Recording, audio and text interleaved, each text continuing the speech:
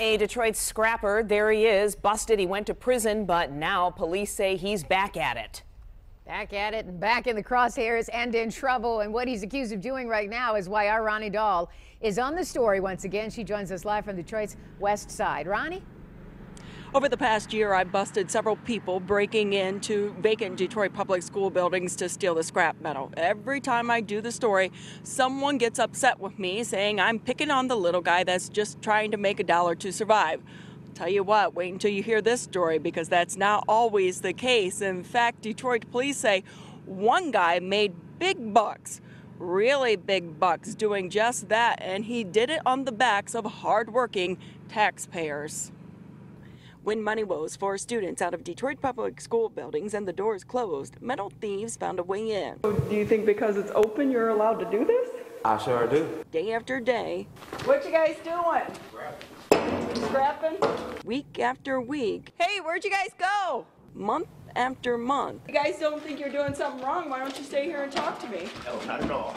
They devoured the building, stealing anything of value. Detroit police say DeJuan Horton was a ringleader. There was a team uh, that, that was targeting these schools. Uh, they would go in, they would strip the copper wire infrastructure from the schools. In a year and a half, Detroit police say Horton and his cohorts cashed in on more than $200,000 worth of stolen scrap metal.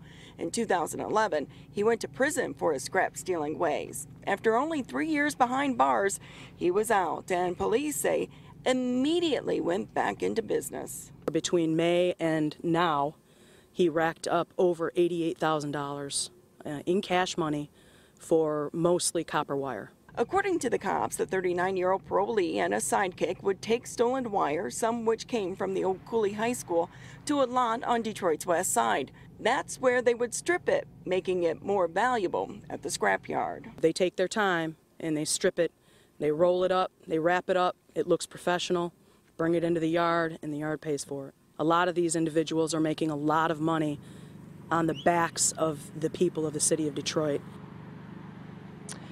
So Horton is uh, has been charged with breaking and entering as well as selling stolen metal, and since he's a repeat offender, this time he is facing up to 10 years behind bars. And also, we want to remind everyone if you see something, say something. A lot of times, Detroit police are catching these illegal scrappers at the scrapyard. So if you see someone breaking into a, a school building, a commercial building, or the house next door, be safe, but try to get a description as well as a plate number and report that to Detroit Police. There is a tip line and a tip email, and we'll have that on our website, WXYZ.com. For now, we're live. Back to you. Well, maybe 10 years behind bars this time will help him decide to stop doing that, even if that $88,000 won't. Came right back out and got right back in it. Wow. Thank you so much, Ronnie.